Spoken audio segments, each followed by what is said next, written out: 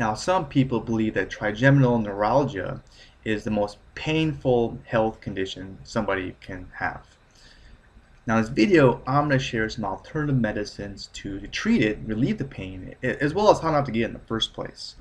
Now, before I get started, uh, down below I'm giving away a free video-based guide on using various supplements and alternative medicines. Now, let me ask you a question. What system in your body is mainly responsible for pain? Well, yeah, it's the nervous system. It informs us that there's a problem. Like, hey, you just put your hand on something very, very hot. Remove your hand now. Stuff like that. Now, let me ask you a question. What happens if this system goes haywire or doesn't work correctly? Yeah, it's not good. It can continually give somebody pain. And that's what happens with this condition. Every so often, shooting pains erupt in the face from a nerve called the trigeminal nerve. Now, some people describe it as a burst of, of sharp electric uh, pain that can last a couple seconds to minutes. And the worst part is it, it oftentimes it's, it's unpredictable. And this makes any activity not as enjoyable because it can be interrupted with some sharp pains. So it's horrible. Now, when it comes to treatments, can you guess what some of the most common treatments are? Yeah, it's prescription drugs, uh, which are commonly prescribed to treat a lot of problems, especially in the United States. And they could be effective, that's true, but of course there are some negative side effects that could take place that should be considered. And next up is, is surgery, which can also be effective, but the drawback is it does cost money and there, there's some risk involved. Now when it comes to alternative medicine, one idea is something called acupuncture. And in theory, how it works is by helping energy, also known as qi, flow easier and better. Now, some people believe that this qi energy gets, uh, if it gets disturbed, it can cause problems like diseases. And not everyone agrees that acupuncture really fights diseases or whatever. Um, but there's a lot of people out there, and, and, there's some studies that show they can definitely reduce pain um, from a wide variety of health problems, including this one. Now, a second um, idea would be visiting a chiropractor.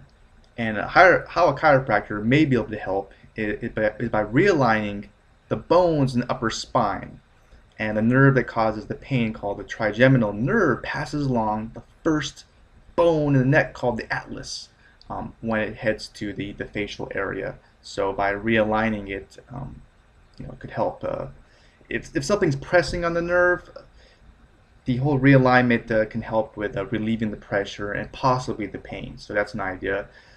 Now, of course, apart from something pressing on it, there could be other triggers or culprits as well, but it really comes down to a nerve that is just not operating right. And also there's something called alpha stim therapy. Have you ever heard of this stuff? It could relieve nerve pain. And how it works is by sending out small electric currents through the nervous system. Uh, some people feel it does help, uh, but uh, more studies are really needed to determine how effective it, it truly is and you know maybe it's a placebo or something but uh, it's worth a shot and it, it, may work. Now, if you're interested, um, oh, in case you don't know what a placebo is, it just means like like a say I give you a pill and I said that it worked, and because you thought it would work, you take it and you, think it does work. It's just like a fake pill. That's what a placebo is, in case you don't know. Now, if you're if you're interested in preventing uh, nerve damage as, as, well as heal it, uh, you could try omega-3 fats and they definitely can help. In a clinical study at Queen Mary University in England, uh, researchers actually isolated nerve cells uh, by mice, and what they did is they actually caused damage to the cells, and, and they also starved some of them oxygen, which of course killed some of them off. But they noticed that you know nerve cells that are rich with omega-3 fats has significant protection and a decrease in cell death. So there's definitely evidence that it helps serves uh, protect cells. And um, another idea to prevent uh, nerve problems is by taking a, a, good multivitamin supplement. There are certain vitamins such as you know, the B vitamins that play big roles in nerve health. In fact, low levels of vitamin B12 have been linked to facial neuralgia according to the, the 14th Congress of an International Headache Society.